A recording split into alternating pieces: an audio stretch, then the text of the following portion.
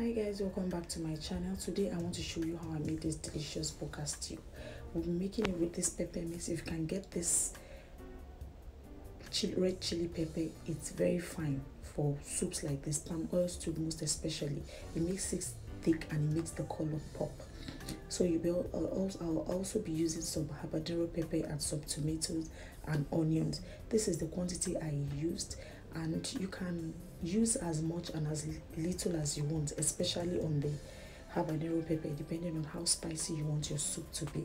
So it's off to the blending mill and we're back so guys first things you you'll be doing is adding your palm oil to the pot add a little bit of onions to flavor the oil then add the oil you used in frying your protein if you fried it some people use fresh um, or only boiled meat but i used fried and I'll, sh I'll show you how this works for me. So after that, you'll be going in with your pepper mix, your blended pepper mix. Make sure it is very smooth.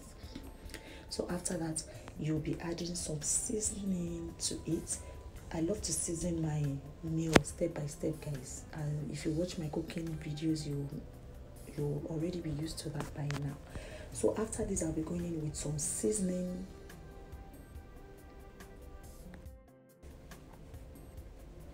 so there you go guys i already added my seasoning you season according to the quantity of soup you're preparing guys so after that you're going with your beef stock i used some fried goat meat and after that i added a little bit of water to loosen the soup and to make it a little bit less thick. So immediately you'll be going in with your fried protein.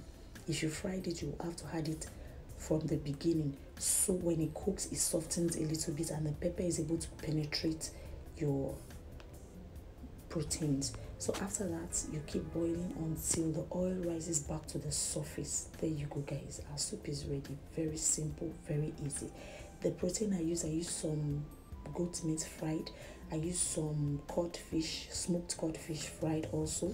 All the protein i used here fried. You can use on use it boiled it's very very fine also.